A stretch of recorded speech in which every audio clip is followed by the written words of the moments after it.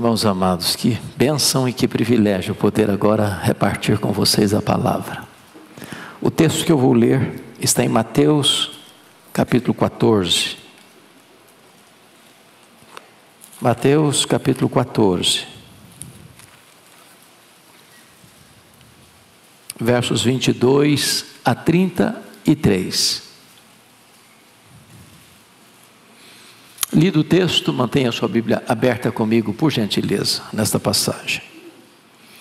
Está escrito: logo a seguir, compeliu Jesus os discípulos a embarcar e passar adiante dele para o outro lado, enquanto ele despedia as multidões.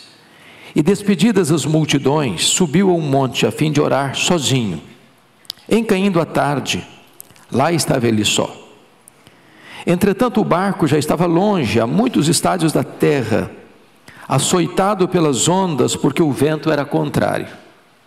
Na quarta vigília da noite, foi Jesus ter com eles, andando por sobre o mar. E os discípulos, ao verem-no andando sobre as águas, ficaram aterrados e exclamaram: É um fantasma! E tomados de medo, gritaram. Mas Jesus imediatamente lhes disse: Tende bom ânimo, sou eu, não temais. Respondendo-lhe Pedro, disse: Se és tu, Senhor, manda-me ir ter contigo por sobre as águas. E ele disse: Vem. E Pedro, descendo do barco, andou por sobre as águas e foi ter com Jesus. Reparando, porém, na força do vento, teve medo e começando a submergir, gritou: Salva-me, Senhor! E prontamente Jesus, estendendo a mão, tomou e lhe disse: Homem de pequena fé, por que duvidaste? Subindo ambos para o barco, cessou o vento, e os que estavam no barco adoraram, dizendo: Verdadeiramente és filho de Deus. Amém. Eu quero meditar com vocês sobre o tema: por que Jesus permite tempestades em nossa vida? Por que Jesus permite tempestades em nossa vida? O contexto desta narrativa bíblica traz-nos três coisas. Primeiro, notícias trágicas.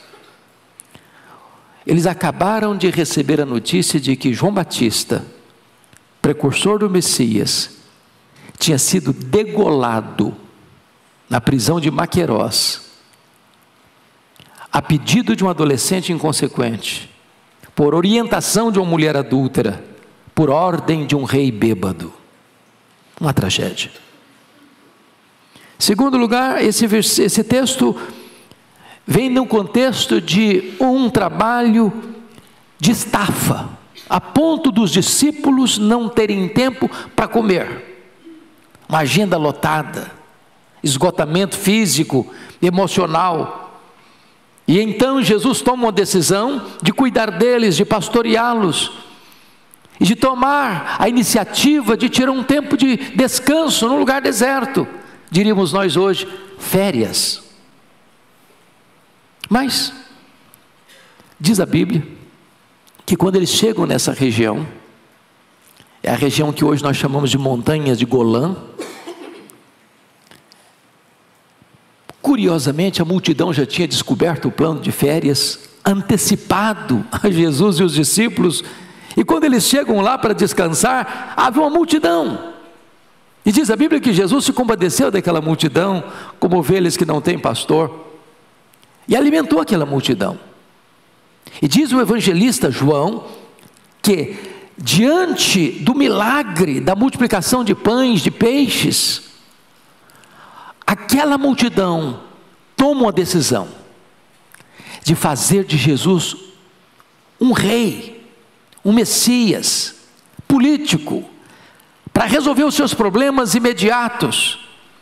E então é nessa conjuntura que Jesus tira os discípulos dessa cena, dá uma ordem para eles para entrar no barco e ir para o outro lado, lado de Cafarnaum. enquanto ele, sozinho, ficou para despedir as multidões. Feito isso, diz a Bíblia, ele sobe para o monte, sozinho. E de lá do monte, diz o evangelista Marcos, que ele olha para os seus discípulos e os vê em perigo, e ora por eles, e vai ao encontro deles, e acalma a tempestade do coração deles, e acalma as circunstâncias que assolam a eles. Sobe para o barco, faz-se bonança, e o barco chega ao seu destino seguro, ao destino desejado. Esse texto enseja-nos algumas lições que passo agora a elencar. Primeiro, quando Jesus nos empurra para o miolo da tempestade. Confira comigo o verso 22. Logo a seguir, compeliu Jesus os discípulos a embarcar e passar adiante dele para o outro lado, enquanto ele despedia as multidões. Notem que Jesus não pediu, Jesus não sugeriu, Jesus não recomendou, Jesus determinou, compeliu, forçou, não deixou outra alternativa para eles e empurrou-os exatamente para o miolo da tempestade. Por que Jesus fez isso? Por duas razões. Primeiro, Jesus está com esse gesto poupando os discípulos de uma tentação teológica.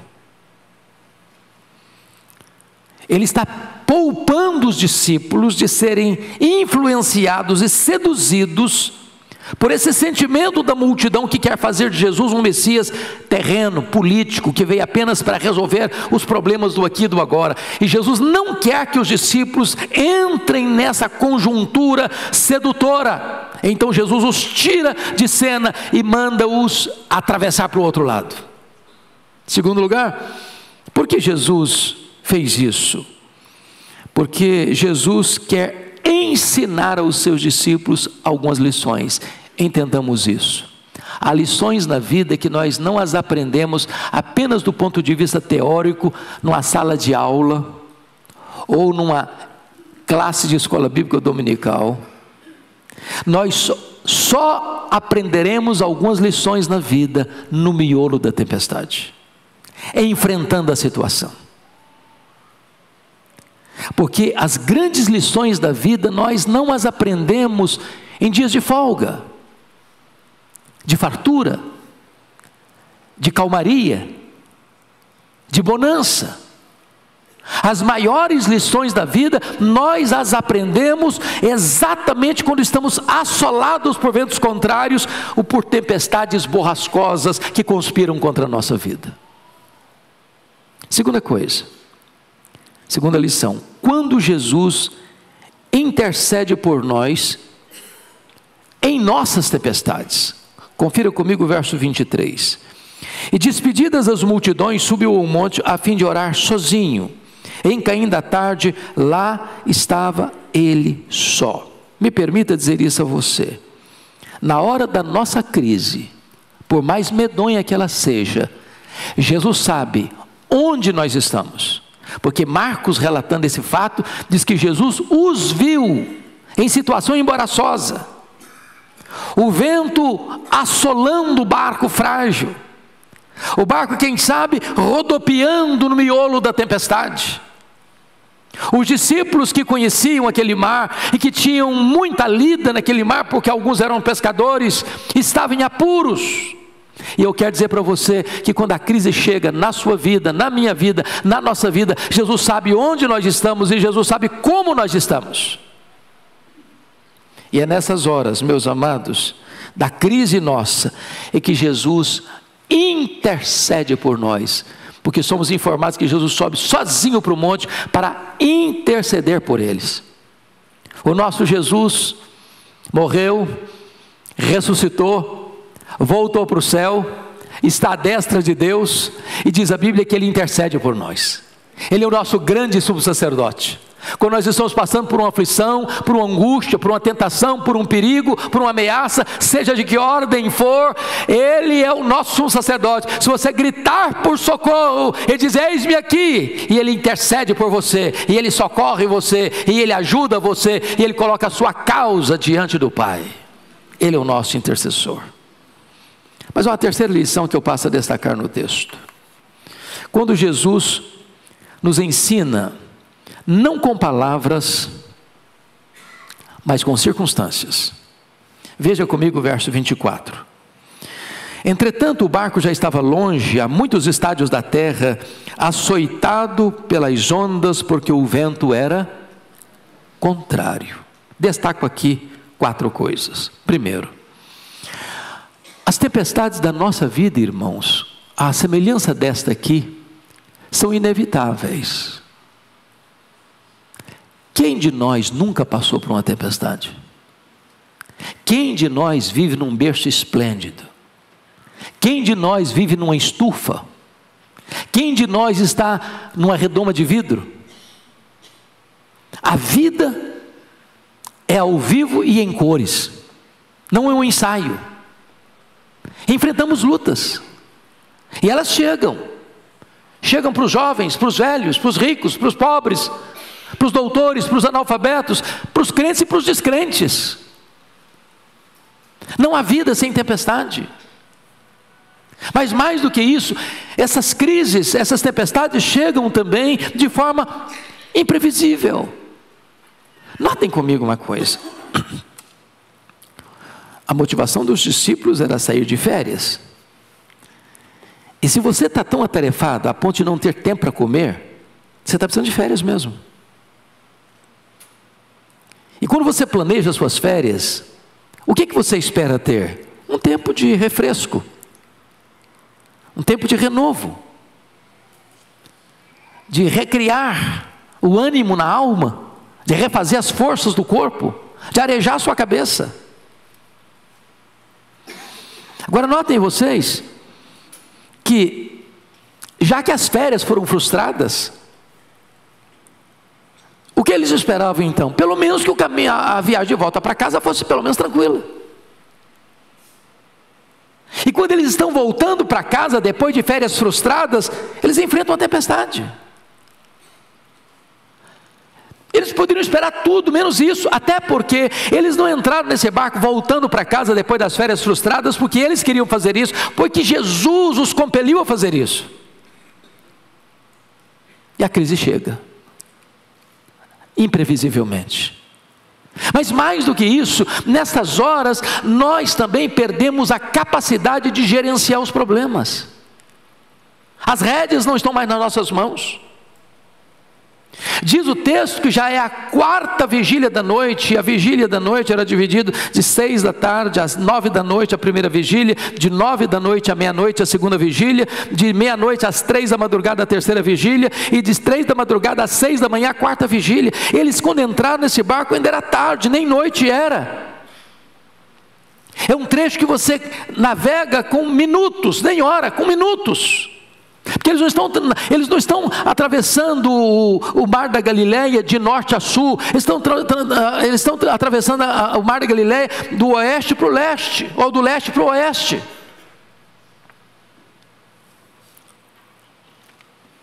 E eles não conseguem resolver o problema. Quantas vezes você e eu também enfrentamos um problema e diz, meu Deus, eu não sei lidar com isso, eu não tenho forças para lidar com isso, eu usei todo o meu conhecimento, a minha experiência e nada eu consigo para resolver o problema. Nessas horas, os problemas se tornam inadministráveis. Mas bendito seja Deus. Nós não cremos em acaso, nós não cremos em sorte, nós não cremos em azar, nós não cremos em determinismo cego. Nós cremos que Deus não desperdiça sofrimento na vida de seus filhos. Nós cremos que há momentos que Deus nos fala através das circunstâncias e nos equipa através das circunstâncias. E quando as tempestades chegam, é porque Deus está querendo tratar a nós. Deus está querendo esculpir em nós algumas lições que nós não conseguimos aprender apenas ouvindo algumas lições. É preciso experimentar a situação para que você veja o poder libertador de Deus na hora da sua crise mais aguda. Quarta lição do texto: quando Jesus vem em nosso socorro. Confira o verso 25 comigo, por gentileza. Na quarta vigília da noite, foi Jesus ter com eles, andando por sobre o mar. Chama a sua atenção para três coisas aqui. Primeiro, Jesus vem na hora oportuna de Deus. Não vem antes, não vem depois. O nosso tempo não é o tempo de Deus. O kairós de Deus é diferente do cronos humano. Eu fico imaginando que quando eles começarem a enfrentar a tempestade, na boca da noite, depois de nove horas de desespero, que já passa de três da madrugada, eles estão pensando assim: eu acho que Jesus esqueceu da gente. Eu acho que nós estamos sozinhos nessa. Eu acho que o socorro não virá. Eu acho que a morte vai nos engolir. Eu acho que esse mar vai ser a nossa sepultura. Eu acho que dessa nós não vamos conseguir sair. Mas Deus não vem na hora que eu quero. Deus vem na hora dele, oportuna dele, porque ele tem o tempo dele de agir. Segunda coisa. Vejam vocês, o Senhor faz, como diz Naum 1,3, o seu caminho na tormenta, na tempestade. Meus irmãos, tem hora que o Senhor Deus vem ao nosso encontro e em nosso socorro, não para nos livrar da tempestade, Ele vem aproveitando a tempestade como sua estrada. Ele tem acesso ao nosso coração exatamente pelo caminho da tempestade. E é isso que está acontecendo aqui.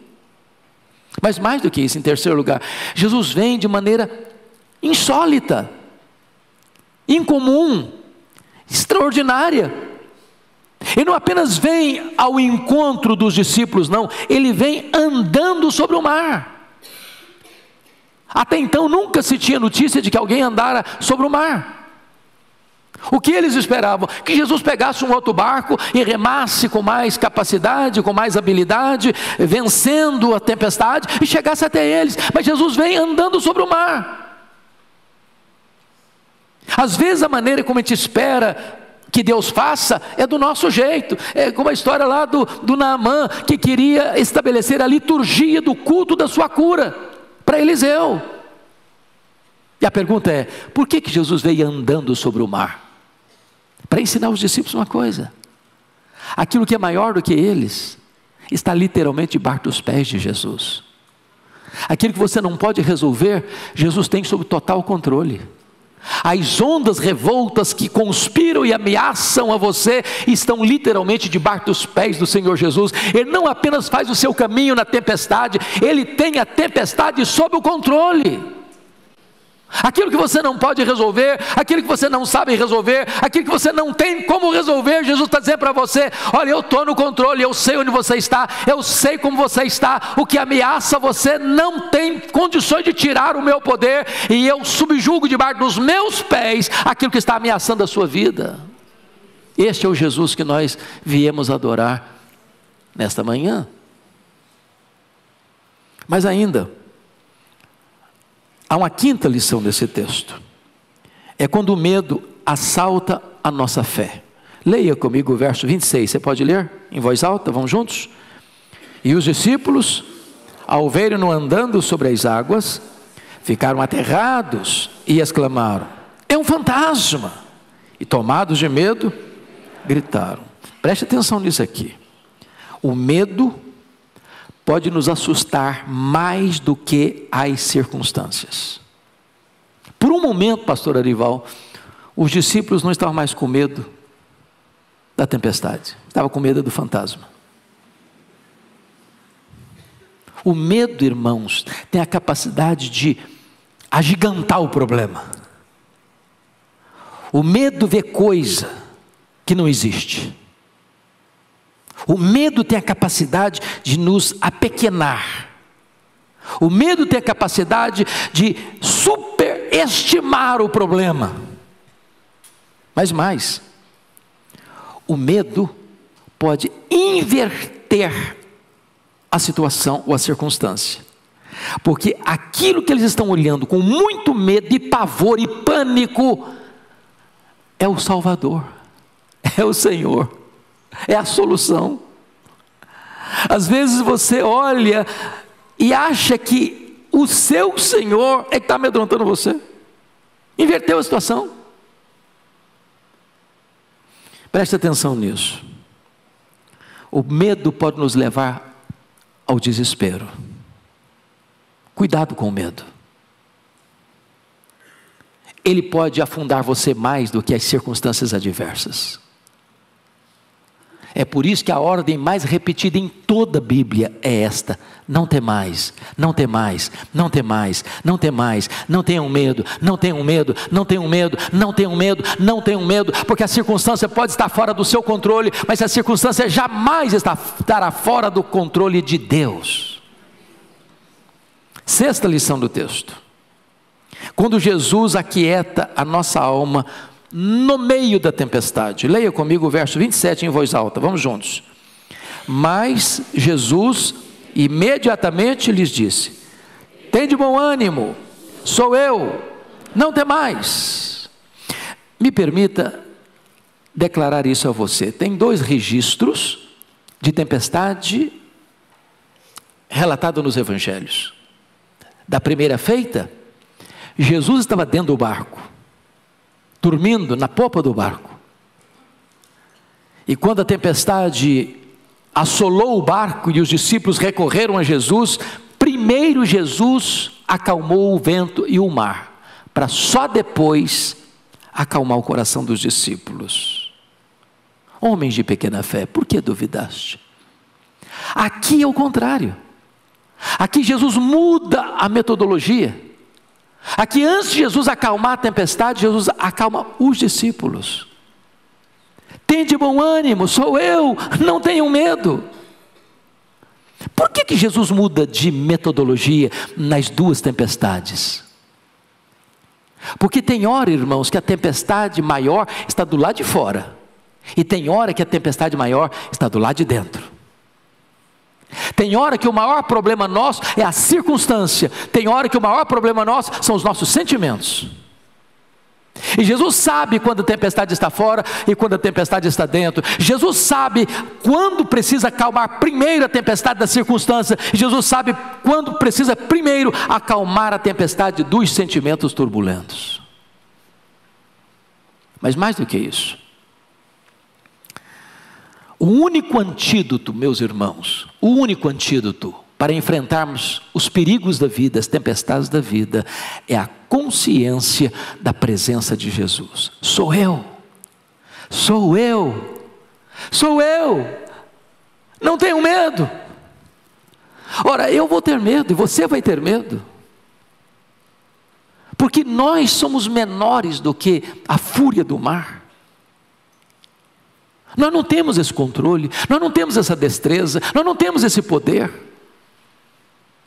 O que pode acalmar o nosso coração não é que o problema é pequeno, não, o problema continua sendo grande, agigantado diante dos nossos olhos. O único que pode acalmar nossa alma num vendaval da vida é saber que Jesus chegou, que Ele está aqui, que Ele está presente, que Ele é o nosso socorro, que Ele é o nosso auxiliador, que Ele é o nosso pastor, que Ele é o nosso redentor, que Ele é o nosso amigo, que Ele é o nosso refúgio e a nossa fortaleza no dia da angústia. Ele está aqui. E por isso você não precisa ter medo. Sou eu. Não tenham medo. Sétima lição desse texto. Quando a fé vacila, nós afundamos. Veja comigo o verso 28 ao 31. Leia comigo esses, esses versos, 28 ao 31. Vamos juntos? Respondendo-lhe Pedro, disse: Se és tu, Senhor, manda-me ir ter contigo por sobre as águas. E ele disse: Vem. E Pedro, descendo do barco, andou por sobre as águas e foi ter com Jesus. Reparando, porém, na força do vento, teve medo. E começando a submergir, gritou: Salva-me, Senhor! E prontamente Jesus, estendendo a mão, tomou e lhe disse: Homem de pequena fé, por que duvidaste? primeira coisa que me chama a atenção é que a fé desafia a lógica. Nunca um homem tinha andado sobre as águas. E às vezes nós criticamos o Pedro.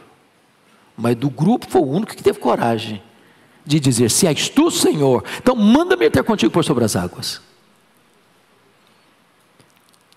É uma fé robusta. É uma confiança plena em Jesus. Porém, há momentos na vida que o medo também pode ser o naufrágio da fé. Porque ele está caminhando olhando para Jesus. E aí de repente ele escuta o barulho do vento. Daqui a pouquinho um assolavanco das ondas revoltas debulhando em cima dele. E de repente, diz a Bíblia, reparando, porém, na força do vento, ele teve medo. Num dado momento ele pensou: sou eu, eu que estou andando, é a minha força, é a minha destreza, é a minha capacidade. E aí começa o naufrágio. Mantenha os seus olhos em Jesus, porque às vezes você está caminhando é sobre a tempestade mesmo, o vento é contrário, tudo conspira contra você. Mas não é a sua capacidade, não é a sua destreza, não é a sua experiência, é a presença de Jesus, é a palavra de Jesus. Vem, é, pode vir, pode vir, olha para mim, vem. É uma palavra que eu estou dando para você, pode vir.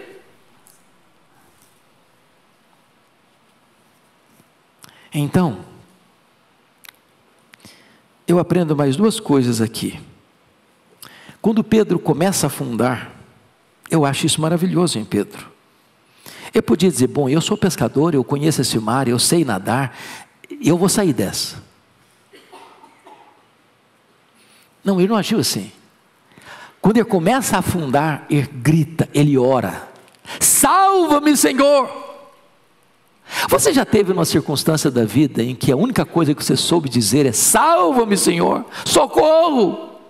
Me ajude! Eu não sei quantos de vocês já passaram por um acidente automobilístico. São frações de segundo. Eu passei por uma experiência difícil dessa lá nos Estados Unidos, quando morava lá. O carro perdeu o controle numa ponte em curva, a película de gelo, e o carro entrou e perdeu por completo o controle e foi rodopiando no meio da estrada e caiu numa vala e o carro virou um L. Eu me lembro que a única palavra que todos nós dissemos no carro é: Jesus, socorro, socorro, socorro. Tem hora que você só pode gritar por socorro. Salva-me, Senhor. Não era a minha habilidade de dirigir, que até hoje eu não tenho tanta. Não era que o carro era seguro. Aquilo ali só podia ter uma força maior que podia me segurar de um grave acidente. O carro se perdeu por completo, mas pela graça de Deus, nem um arranhão, nem um osso quebrado. Deus nos poupou. Porque o Senhor é maior que a tempestade da nossa vida. Mas notem, a dúvida é o vacilo da fé, porque Jesus salvou Pedro e disse: Homem de pequena fé, por que, que você duvidou? Eu não mandei você vir. Você não tinha que olhar para o vento, você não tinha que olhar para o mar, você tinha que olhar para mim. Por que você duvidou? E aí eu sou Pedro. E quantas vezes eu também vacilo? Quantas vezes nós vacilamos? Quantas vezes nós tiramos os olhos de Jesus? Quantas vezes as circunstâncias nos engolem?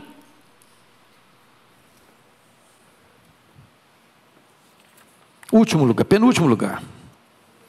Quando Jesus acalma os sentimentos e as circunstâncias da nossa vida.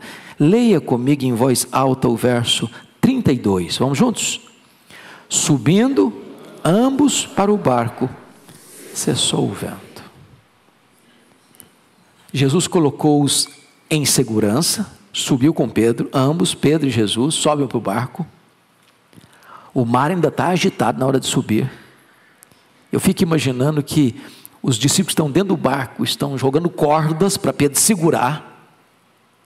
E a hora que eles conseguiram entrar no barco, a tempestade cessou. Jesus terapeutizou a alma turbulenta e tempestuosa de Pedro e dos seus colegas.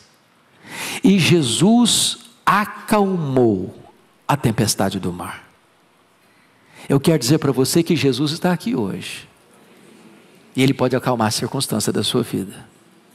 E Ele pode acalmar os temores da sua alma.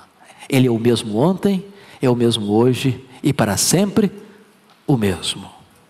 Mas a última lição desse texto é a pergunta que eu faço e você também.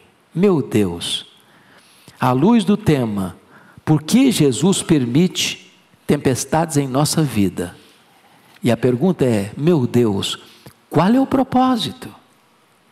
Já que tu nos amas, em permitir tempestade na nossa vida. Por que, que Deus, ao nos salvar, não nos botou numa redoma? Diz: meu filho, nada desse mundo vai atingir você. Nenhum perigo vai alcançar você. Você vai passar ileso por tudo na vida e nada vai intimidar você. Por que, que Deus não nos poupa? Por que, que Deus não nos livra? Por que, que um crente enfrenta problemas na vida? Por que, que um crente enfrenta doenças na vida? Por que, que um crente enfrenta problemas financeiros na vida? Por que, que um crente enfrenta circunstâncias carrancudas na vida? Por quê? E o verso 33 nos responde.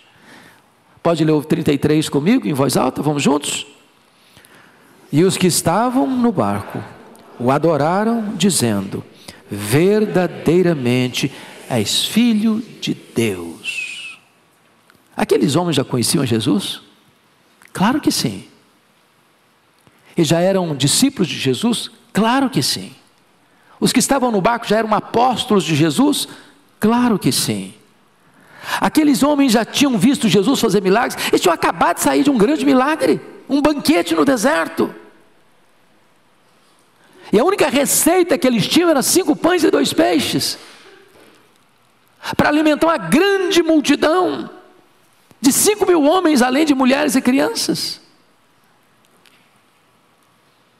Mas agora, eles é que estão passando uma tempestade. O problema não é com os outros, é com eles. E agora Jesus resolve não apenas o problema dos outros, Jesus resolve o problema deles. E agora eles chegam a um nível mais alto de compreensão. Eles adoram e declaram: verdadeiramente és filho de Deus. Sabe por que, que Deus permite tempestade na nossa vida? Para nós avançarmos um pouco mais, num nível mais alto de experiência com Deus, de conhecer Jesus, não apenas porque você viu Jesus fazer maravilhas na vida dos outros, mas porque você é testemunha do que ele fez na sua vida. E você não tem outra atitude a fazer senão também prostrar e adorar. Que o Senhor nos abençoe. Amém.